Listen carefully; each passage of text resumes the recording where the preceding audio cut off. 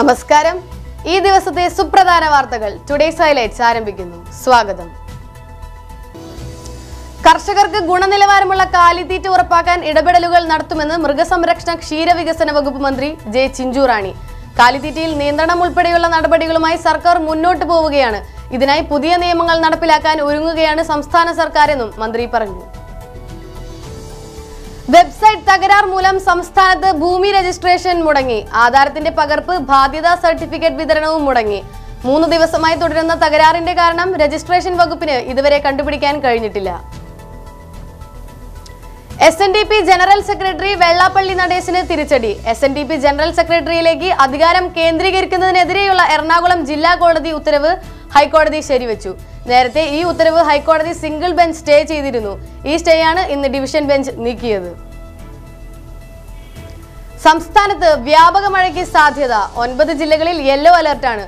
പത്തനംതിട്ട മുതൽ തൃശൂർ വരെയും മലപ്പുറം കോഴിക്കോട് വയനാട് ജില്ലകളിലുമാണ് മുന്നറിയിപ്പ്.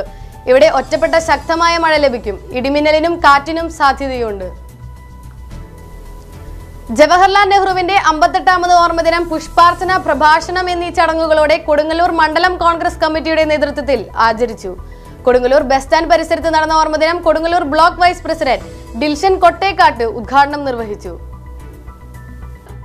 വിദേശ തപാൽ ഓഫീസ് വഴി കൊക്കൈനും എം ഡി എം എയും കടത്താൻ ശ്രമിച്ച് റിമാൻഡിൽ കഴിയുന്ന കൊടുങ്ങല്ലൂർ സ്വദേശിക്ക് വീണ്ടും തപാലിൽ ലക്ഷങ്ങൾ വില വരുന്ന മയക്കുമരുന്ന്.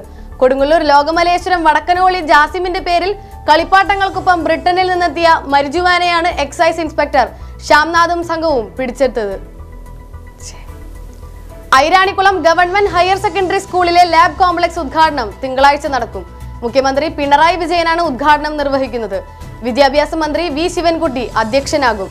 M L A V R Sunilkumar principal S Radhika head mistress Mejo Paul P K Sojan P V Arun എന്നിവർ മാളയിൽ പരിപാടികൾ വിശദീകരിച്ചു.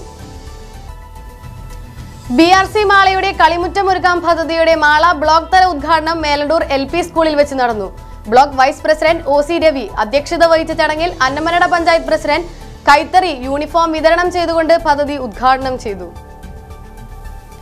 അന്നമനട ഗ്രാമപഞ്ചായത്തിന്റെ ആഭിമുഖ്യത്തിലുള്ള സ്പോർട്സ് അക്കാദമി കഴിഞ്ഞ ഒരു മാസകാലമായി നടത്തിവന്ന ഫുട്ബോൾ വോളിബോൾ കോച്ചിംഗ് ക്യാമ്പ് സമാപിച്ചു. ആരോഗ്യ വിദ്യാഭ്യാസ സ്റ്റാൻഡിംഗ് കമ്മിറ്റി ചെയർമാൻ ഇക്ബാൽ അധ്യക്ഷനായ ചടങ്ങിൽ പ്രസിഡന്റ് പി വി വിനോദ് ഉദ്ഘാടനം നിർവഹിച്ചു. കുഴിക്കാട്ടുശ്ശേരി വിശുദ്ധ മറിയം ത്രേസ്യ തീർത്ഥാടന കേന്ദ്രത്തിൽ തിരുനാൾ ജൂൺ എട്ടിന് നടക്കുമെന്ന് സംഘാടകർ മാളയിൽ വാർത്താ സമ്മേളനത്തിൽ അറിയിച്ചു. മെയ് മുപ്പതിന് തൃശൂർ അതിരൂപത ആർച്ച് ബിഷപ്പ് മാർ ആൻഡ്രൂസ് താഴത്ത് കൊടിയേറ്റം നിർവഹിക്കും. ഇതോടെ ടുഡേ ഹൈലൈറ്റ് സമാപിക്കുന്നു. കൂടുതൽ വാർത്തകൾ ന്യൂസ് റൗണ്ടപ്പിൽ നമസ്കാരം.